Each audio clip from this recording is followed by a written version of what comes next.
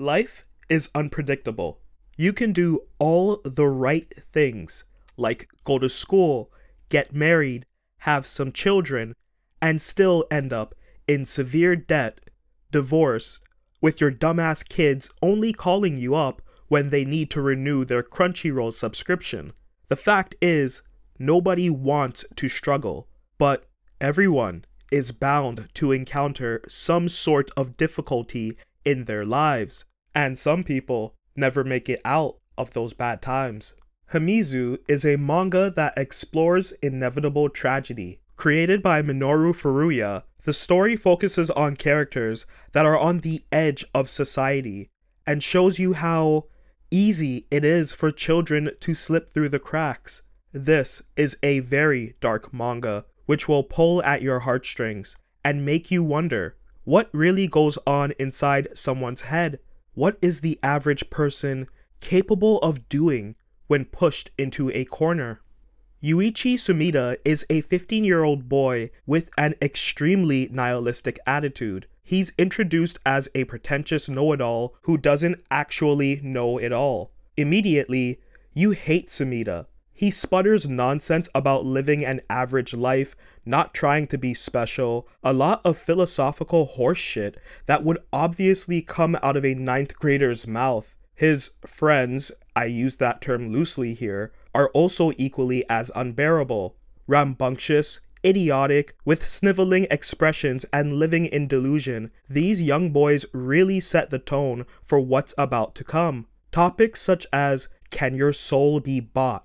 Should you pursue manga for the passion or for the fame and fortune? What sacrifices would you make for a friend? Are all presented very early into this manga. For a four volume series, I was very surprised by how much ground is covered and how realistic it all feels. I know Punpun is popular with manga readers, but I personally feel that Himizu is a better story. Now, I was definitely more entertained by Goodnight Punpun, but Himizu is so much stronger with building on similar tropes. Within the first volume, the reader has to quickly accept the fact that this series is going to go in a very bleak direction right away. The pacing doesn't betray that assumption, as you see our main cast getting involved with predators, being abandoned by their parents, and getting caught up with street criminals. There's a lot of sexual abuse in this manga, by the way, and it doesn't shy away from very tense moments that lead to very violent assaults as well, which is part of what makes me appreciate this series more than Punpun. It treats these characters with respect and leads them to believable situations for their unfortunate mistakes. The art for this manga is pretty solid. It isn't fancy, there is no layout manipulation, but it frames the psychological elements very well by morphing the characters gradually as the series progresses. It starts off very sketchy, with a 90s erratic art, early 2000s surrealism take. Harold Sakuishi, Jamie Hewlett, Carlos Meglia, and Mike Judge are comparable in style to what I see from Furuya, which makes sense as Himizu is a manga from the turn of the century, but it never feels dated as the issues the characters encounter are all replicated in psychological seinen manga of today. Sumida is left behind by his mother to take care of the family boat shop and deal with his absentee father's debts. From here, note how the stress starts to affect him. He's drawn more and more gauntly as time goes on. The reader is experiencing the character's mental decline and aftermath after losing what little family they had. The art, along with this story, becomes more disarrayed with each chapter. The story becomes tough to read as Sumida tries his best to cope without any support. He drops out of school, starts working odd jobs, and begins engaging in activities that are leading him down a path to his doom. And some of his friends aren't doing much better. His girlfriend Chizawa is clearly one of those damaged girls who thinks she can fix criminal bad boys, and the host starts inserting herself into this cesspool because she feels bad for him. Fucking Noodle gets caught up in serious crimes and finds himself doing things that ultimately destroys his friendship with Sumida. A few of the other friends, whatever their fucking names were, I forget, actually continue onto their respective dreams and start to see positive results from their hard work and own accountability. It's painful to watch Sumida throw his life away.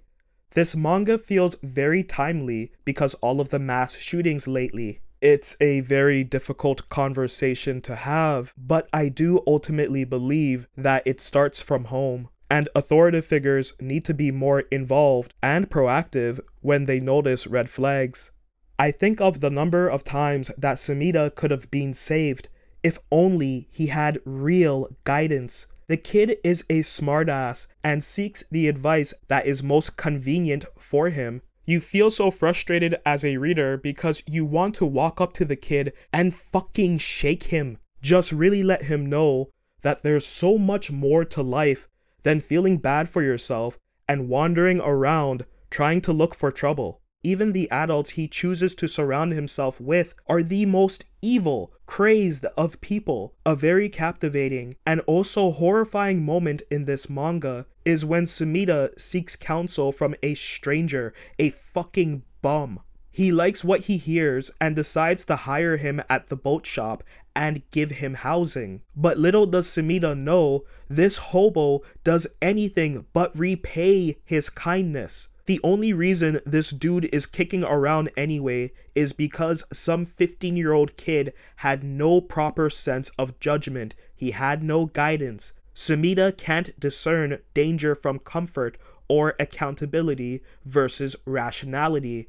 Himizu closes out with a very taxi driver esque way of perceiving this world. It all feels very counterculture, almost North American at times. It's a grittiness that we very rarely see in Japanese works. High school dropouts, gun violence, exploitation, depression, and plenty of others on the outskirts of society. You're left asking a lot of questions. Were any of these characters redeemable? Will the criminals of this manga ever get their comeuppance? The adults that have harmed children, surely they'll be brought to justice, right? The whole time reading, I enjoyed myself because I kept asking all of these questions. How will it all come together? But as I came to the ending, I realized that, just like in real life, you aren't always meant to get an answer. And most times, the bad guy wins. Himizu is an excellent psychological drama that can be read in a single sitting. It has very few flaws and tells a fantastic coming of age story for those that society leaves behind. I related to some of this story, and though it was an edge fest, it never felt forced or fake. You want to see these characters rise above their hurdles and trauma, and while some do, the story elevates to amazing highs when you see the rest of the cast slump deeper and deeper into a lost life. There is nothing more humanizing than seeing a 15 year old boy cry himself to sleep at night, knowing that his best days have already passed him. I'm giving Himizu a 7 out of 10.